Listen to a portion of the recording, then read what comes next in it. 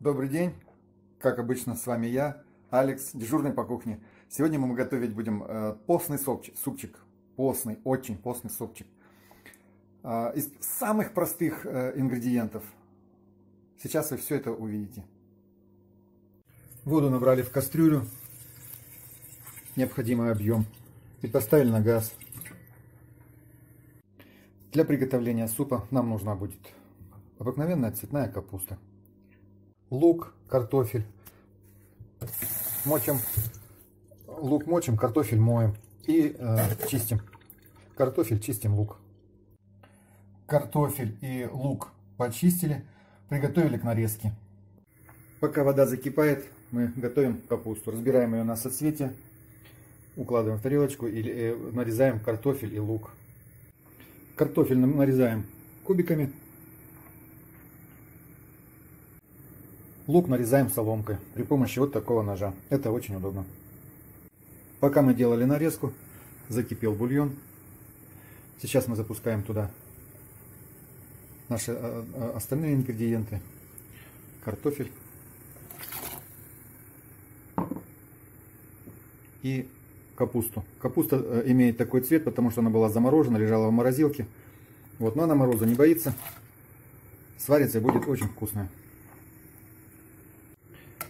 Теперь мы это все размешиваем. И добавляем лук. Пока в кастрюле засыпанные продукты закипают, мы порежем. Самый главный ингредиент это помидор. Вот овощи закипели, пусть немножко поварятся. Потом мы добавим э, помидор. Почему мы добавляем его чуть позже? Для того, чтобы картофель, когда варится, он стал мягким и не был грубым и э, твердым и жестким. И э, приготовим сельдерей. Но его мы добавлять не будем в кастрюлю, мы его добавим отдельно. Отдельно в тарелочку добавим сельдерей, чтобы все витамины сохранились и его варить не нужно совершенно. Он будет свеженький, придавать пикантный, э, очень ароматный вкус.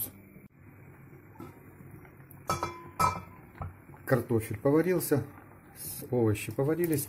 Теперь добавляем туда помидоры. Перемешиваем.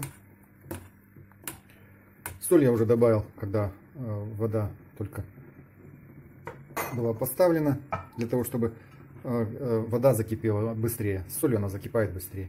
И теперь ждем, когда закипит, убавляем огонь и будем томить его на малом огне. Ну вот борщ, вернее суп потомился. Вот такой вот он вид имеет сварилась, э, картофель сварился. Теперь мы заканчиваем. Добавляем приправа, смесь пяти перцев. Добавляем базилик. Добавляем лимон для усиления вкуса. И кисло... Ну, для усиления вкуса, кислоты и пикантности. Вот такой вот получилось ну, можно добавить э, вот эту вот лаврушку. Ну, не знаю, у нас ее как-то не очень. Она прижилась. Вот, ну, добавим, ладно, ничего страшного. И добавим красного перца. Вот. И когда уже будет готово, при подаче можно будет добавлять э, перец, э, горошек измельченный, свежеизмельченный. Вот. Но сейчас потомиться еще немножко и будем пробовать.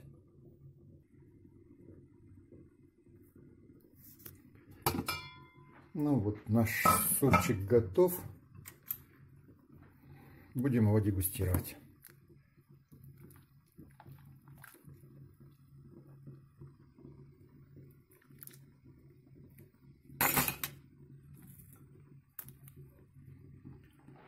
Вот такой супчик получается. Очень вкусный, очень простой. Проще только манная каша, наверное, бывает. И очень питательный. Чего в супе не хватает? Выясняем. Горячий. Суп приготовлен по бабушкиному рецепту. Когда, в то время еще, когда э, были русские печи, и все закладывали одновременно в большой казан, э, заливали водой и ставили в печь. И томилась она там часа полтора-два. Вот. И потом получалось примерно вот такое. Зажарку не делали. Это мы сейчас зажарку делаем. Ну, вот этот вот без зажарки абсолютно постный, вообще да ни одной жиринки нету. Э, суп, но он очень вкусный. Ароматный. Лимон придает э, кислинку такую специфическую. Сельдерей придает аромат э, классный. И помидор придает такой вкус весны.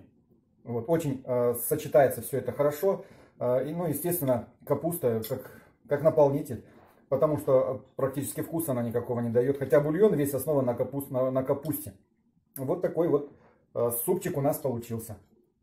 Итак, приятного аппетита. И еще один момент я хочу вам показать.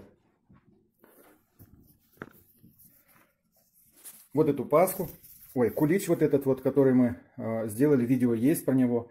Э, мы его попробовали, очень он вкусный получился, выпеч, э, вып, испечен он вот на этой вот чудо-машинки. Никаких э, хлопот, забот. Ингредиенты насыпал, поставил, и все это дело испеклось. Так что, если у кого-то есть печка, попробуйте. Ну, а тем, кто э, любит маслины, могут добавить маслины по своему, по своему вкусу. Нарезать их э, в тарелочку или прям в, в кастрюлю запустить. Можно добавить укроп, можно добавить еще какие-то ингредиенты э, на любителя. Вот, потому что у каждого из нас э, вкус на фломастере разный. Сколько фломастеров, столько и вкусов. Э, вот, но, во всяком случае, смотрите видео, ставьте лайки, лайки, подписывайтесь. Ну и ждите новых выпусков. С вами Алекс, дежурный по кухне.